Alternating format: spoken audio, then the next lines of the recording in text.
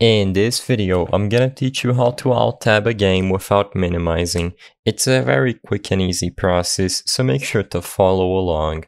This works for any game you have, and as long as you follow through the steps I'm gonna show you in this video, you will be able to alt-tab without minimizing any game. I'm going to demonstrate this by using Terraria.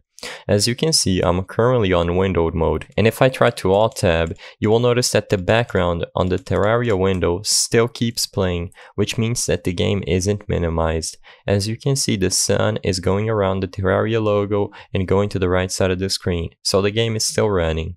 Now, if you go into your, the settings of your game and you make it full screen, you will notice that as soon as you go into full screen and you try to alt-tab, as you may notice, the game just minimized.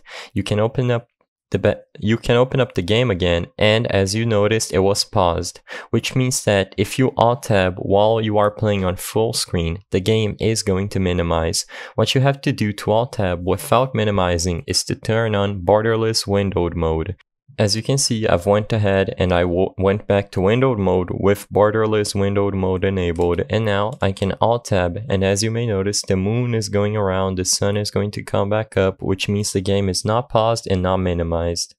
I hope I was able to help you on how to alt tab without minimizing your game.